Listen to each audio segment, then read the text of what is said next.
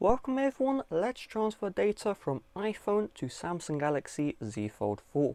Real quick, if I open up the Photos app, if your Z Fold 4 is in the setup screen and you see copy apps and data, just tap on next and skip about a minute into this video. I'll let you guys know when to follow the next instruction.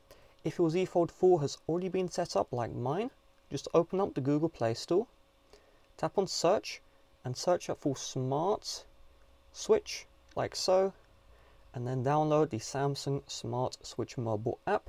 If you need to update this app, update it to the latest version. Now we're going to open up the Smart Switch app. You can see transfer your data.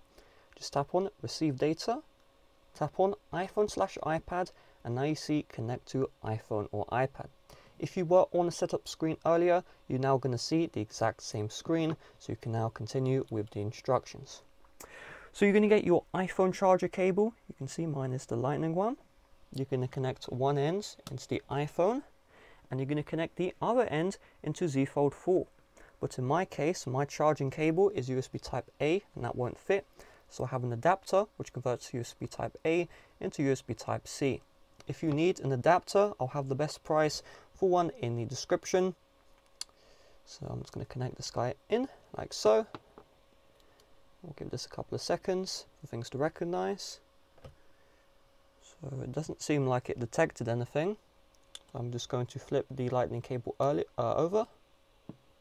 And it worked for split second. Maybe I need to flip the adapter over like so.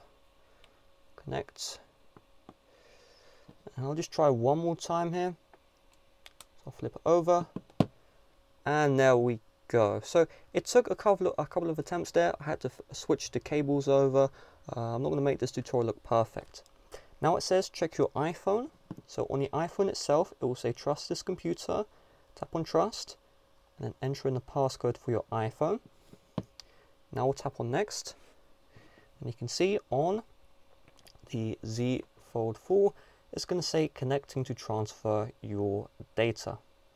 So right now it's just going through all of the files which are in your old iPhone and then with those old files of course it will be able to transfer them over to your Samsung. So this searching part may take quite some time so oh, it took five seconds there. Alright so we have calls and contacts, messages, apps, data, all this stuff okay just scroll all the way down select what you want and then tap on transfer right here. I'm not going to start the transfer process uh, because it will just take too long. But once you tap on transfer, wait for things to complete, don't unplug your devices and you'll be good to go. So with that being said, thanks for watching. See you guys later. Bye bye.